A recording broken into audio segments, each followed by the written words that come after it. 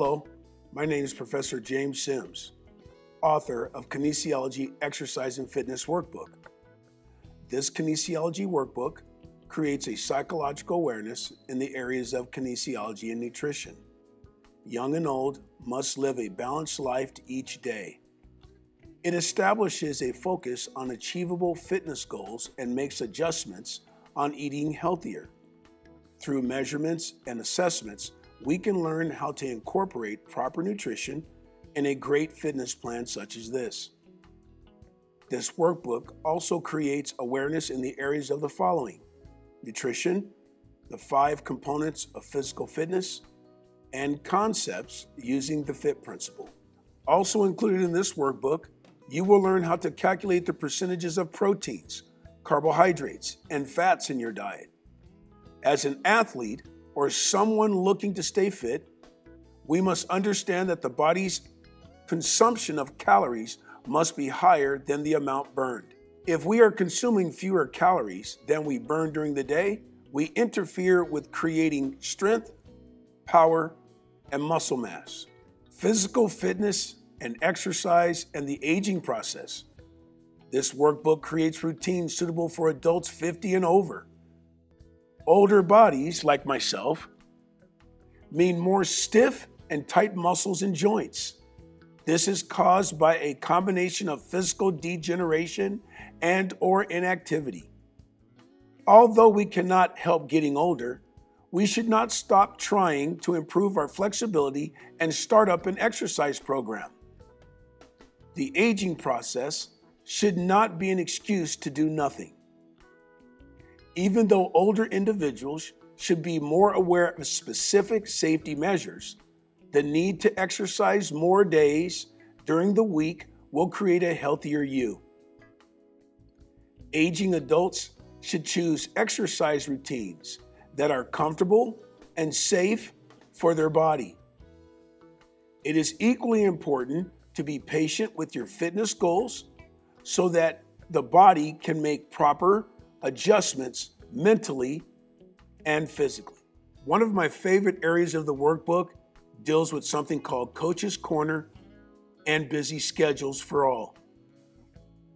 Our society has become so fast paced that many people are replacing healthy meals with fast foods. We don't realize that our fast food choices lack the essential vitamins the body needs to function properly. By maintaining good eating habits and taking our essential vitamins, the body can help delay the loss of the body's functions. Many studies have shown that exercise routines curve our mood, anxiety, and tension. Studies also indicate that exercise stimulates positive moods and positive thoughts. The workbook has created a variation of standard measurements and assessments for males and females. Some of those examples of standard measurements are basically our push up, sit up, and squat. Even though there are many more, those are three examples. By testing each week and planning exercises that are related to the test, the student will improve in several different areas. This is why it is imperative that the instructor chooses exercises that will enhance the five components of physical fitness. Overall goals. During the school and semester years, the instructor will choose a group of exercise to develop various exercise routines and workouts. The workbook gives suggestions in areas of fitness principles weight loss and weight gain, cardiovascular programs, body tone, programs that assist in muscle mass, strength, and power. Each of these areas will have some kind of program, formula, charts, and other examples. The use of sets, resistance, repetitions, times are also introduced using something called the FIT principle the five components of physical fitness. So, these are some of the things that I suggest the in- instructor do. The instructor can use various programs of their choice. As I mentioned earlier, the instructor can add or subtract any exercises within the workbook. The instructor will test the student every four weeks, and I call that every four weeks phase one, phase two, phase three, phase four, etc., which is each phase represents every four, four weeks. The instructor develops better scores by training the student on related exercises before the next testing phase.